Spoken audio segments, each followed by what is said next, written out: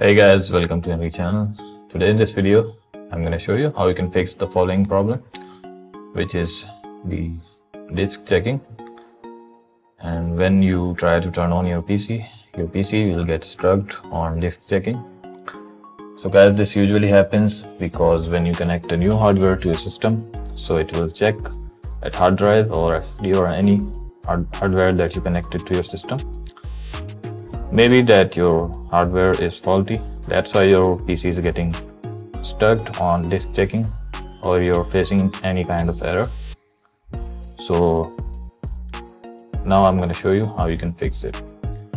First of all you just have to turn off your pc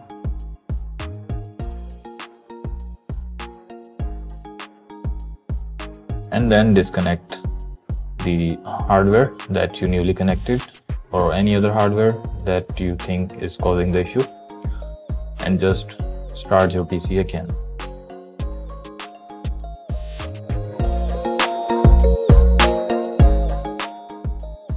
And you will see this automatic repair function there. Just wait for it.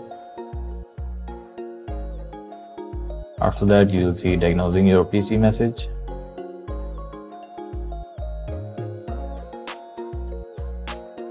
it can take up to few minutes. It depends on your computer speed. So you have to wait here patiently. And now you will see this automatic repair. I don't need any kind of repair so I'll just simply restart. You can try restarting from here.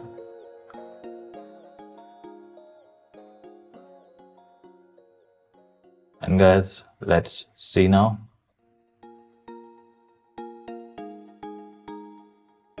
and there we go. Now you can see the windows loading icon there which means our pc is starting without any disk checking or anything else. And that's it. Now we are at lock screen. Just unlock it. And guys that's it. So this is how you can solve the following problem. Thanks for watching. Make sure to sub the channel and leave a thumbs up. Bye for now